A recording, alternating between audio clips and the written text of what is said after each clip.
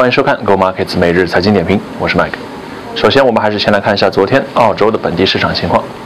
那么，昨天澳洲股市在周一呢，并没有延续到上周连续四天上涨这样的一个非常好的情况。在昨天周一开盘又开始下跌，而且非常不幸的是呢，昨天银行股和矿业股两个大板块呢同时下挫。这样一来，我们闭着眼睛都可以猜到澳洲股市昨天是必跌无疑啊。但是非常幸运的是呢，啊，由于其他中小板块呢强力托盘，最终澳洲股市呢是下跌百分之零点六左右。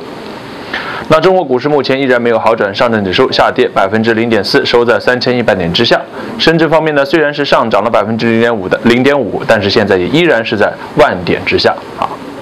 那么在其他方面呢，欧洲股市昨天大约是有百分之零点五左右的下跌，而美国股市呢，则轻微的啊是回调百分之零点一左右。目前欧洲和美国依然是保持在他们各自的历史最高水平附近。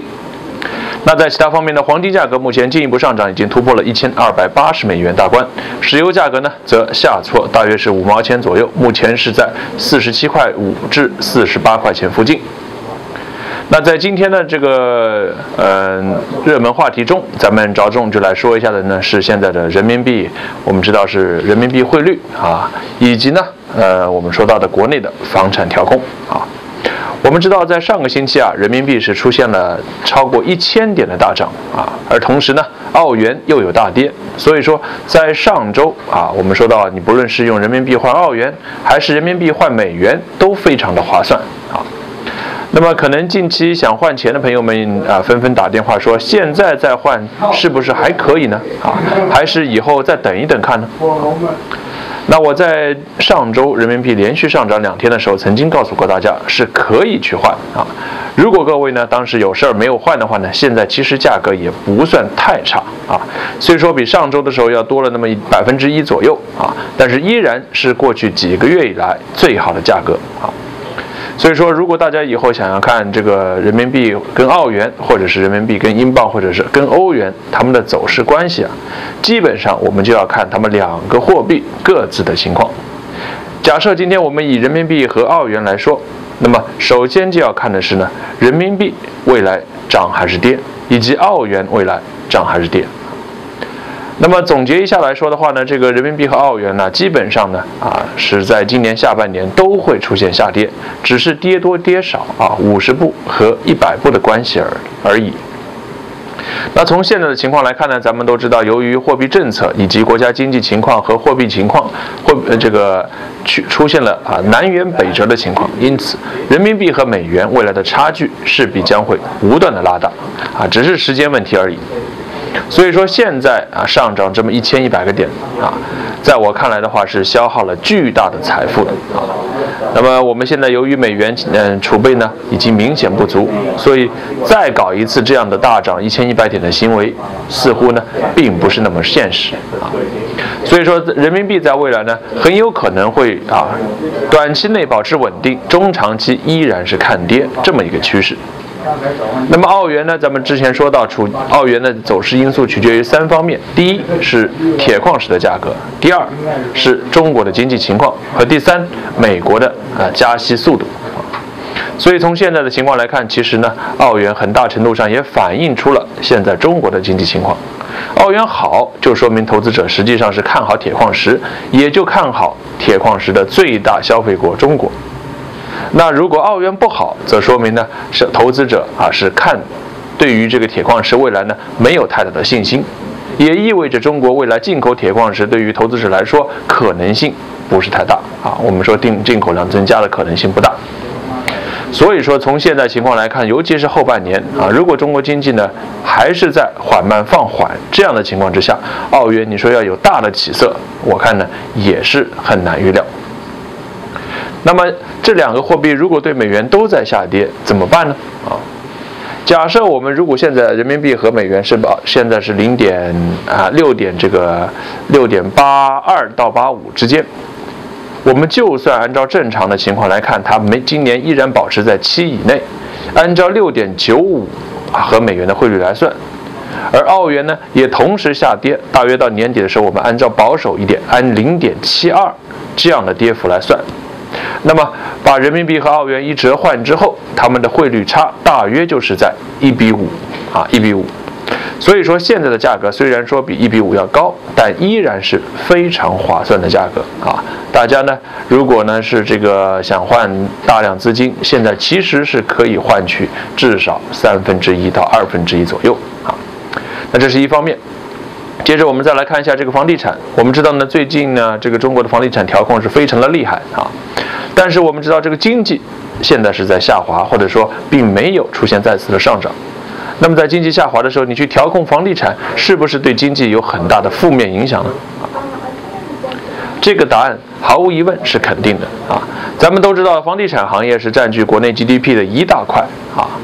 呃，有很多上市公司啊，特别是中小的企业，他们一年的净利润甚至抵不上北京两套房啊。那么在这样的情况之下啊，如果房地产价格继续升温，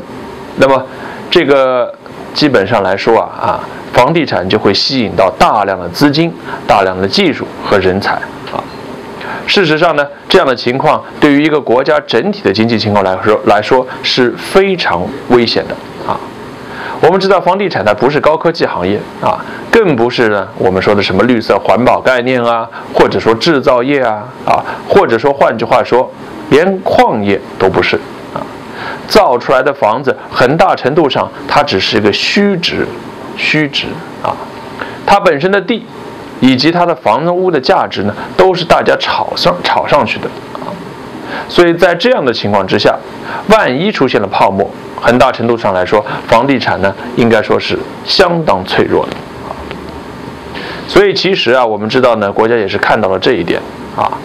如果这样的情况继续延续下去的话呢，那未来几乎没有人再去做实业了，也没有人去搞科研了，大家都去炒房就行了啊。这样一来，国家肯定搞不好啊。所以说，现在呢，与其说是打压这个房地产，还不如说是拯救其他的行业。你只有把房地产你这个热度压下去啊，大家的精力、时间和金资金才会考虑投到其他的行业上，看看有没有有所回报。如果一个行业过度的这个吸引资金的话呢，它势必未来也会带来巨大的风险啊。我们知道，任何一个商品啊，你不论是多贵啊，它价格都有周期啊，有的时候会高，有的时候呢就会低，你不可能永远上涨不变。虽然现在中国的房地产市场从啊这个商品房大概是九十年代初到现在为止一直是在上涨，但是这么大的一个泡沫随时有可能破裂啊，所以与其让它自己破了以后产生巨大的负面效果，还不如现在先放一点气，把泡泡呢变得小一点，这样来说，即使未来出现问题，所付出的代价也会少很多。我们今年再重申一遍，目前中央的政策已经从去年的保房价改变到了保汇率，因此今年的重中之重就是人民币不能出现大跌。但至于房地产，已经不是作为第一保护目标啊。接着咱们来看一下，今天说到一个产品，说的是啥呢？今天说的是黄金啊。我们这个图啊，延伸的时间比较长，是从二零啊，应该说没有十年嘛，最左边是二零一二年，所以说到现在为止是五年的时间啊。五年之前，黄金曾经去过一千八百一千八百美元啊，最低的时候呢，去过一千零五十左右啊，一千零四十。那在过去二零一六年到现在，从它的最高点向下画一个曲线图，我们可以看到呢，黄金价格就刚好。啊，最近的价格是被压，之前呢一直是被压制在这根向下的这个趋势线以下，关键点呢大约就是在一千二百八十到一千二百七十五之间。一旦这个价格得到有效的突破，我们相信黄金在未来会有很大的上涨空间啊。所以说很非常巧合的是呢，今天这个价格已经出现了突破，所以我们投资者目前可以密切关注黄金产品啊。这个价格一旦得到有效突破之后，未来呢，至少黄金会去一千三百三十至一千三百五十附近，好，大家可以关注一下。那感谢您收看今天 Go Markets 每日财经点评，我们明天再见。